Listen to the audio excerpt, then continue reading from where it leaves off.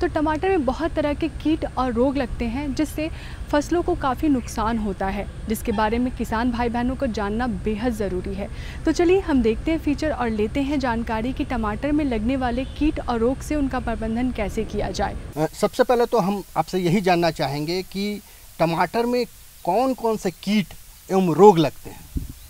किसान भाइयों आपको हम विस्तार से बताते हैं कि टमाटर में पहले हम रोग की बात करें, क्योंकि रोग का शुरुआत जैसे ही बीज से बिचड़ा तैयार करने को होता है, उसी समय से रोग का शुरुआत हो जाता है। तो पहला तो है कि जब हम टमाटर की खेती झारखंड के परिवेश में कर रहे हैं और बरसात के दिन में खास कर कर रहे हैं। तो उस समय पहला ध्यान देने वाली बात है कि एक मुरझा रोग करके बीमारी आता है, बैक्टीरियल विल्ट करके बीमारी आता है। जब भी झारखंड में हम खेती करेंगे तो टमाटर में मुरझा रोग रोधी किस्मों का चुनाव करना चाहिए।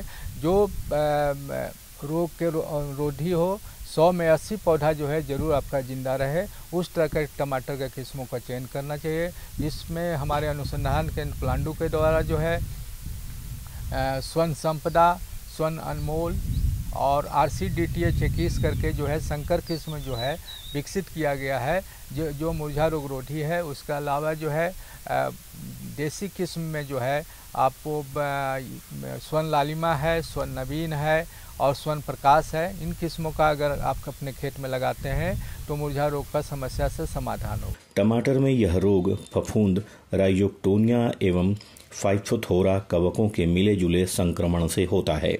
इससे प्रभावित पौधों का निचला तना गल जाता है।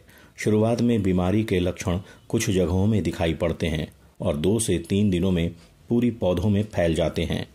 टमाटर के पौधे भूरे और सूखे धब्बों के साथ पीली हरी दिखाई पड़ने लगती है।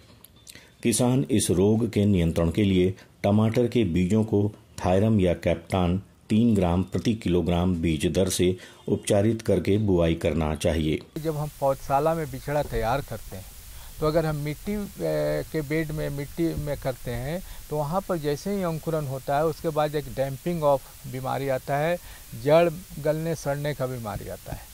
उसमें जो है फफूंद नाशक का अगर आप सही से प्रयोग करेंगे, ब्लू कॉपर या रिडोमिल दवा का, दो ग्राम प्रति लीटर के दर से अगर पानी के साथ मिला करके चार से पाँच दिन के अंतराल में डालेंगे तो उससे नियंत्रण होगा। लेकिन हमारा सलाह रहेगा कि आप जो है मिट्टी में बिछड़ा नहीं तैयार करें। अभी जो है मिट्टी रहित तो जो है प्लास्टिक के ट्रे में प्रो ट्रे में बिछड़ा तैयार करें तो उससे जो है डैम्पिंग ऑफ़ बीमारी जो जड़, गलने और सड़ने का बीमारी है, उससे निदान हो जाएगा। तो मुख्य रूप से दो बीमारी जो है आपको अगर फ़सल टमाटर में लगाना है तो इसको ध्यान में रखते हुए ही हमारा टमाटर के बीज बुआई टमाटर के किस्म का चुनाव करना। चाहिए अगेती झुलसा रोग सबसे प्रमुख रोग है। यह रोग अल्टरनेरिया सोलेनाई नामक कवक से होता है, जिस वजह से पत्तियाँ गिर जाती है। यह रोग पौधों के सभी भागों में लग सकता है। नियंत्रण के लिए रोगग्रस्त पौधों को जलाकर नष्ट कर देना चाहिए। रोग के लक्षण दिखाई दें तो मैंकोजेब 75 डब्ल्यू का ढाई किलोग्राम प्रति हेक्टेयर की दर से 10 दिन के अंतराल पर छिड़काव करना चाहिए।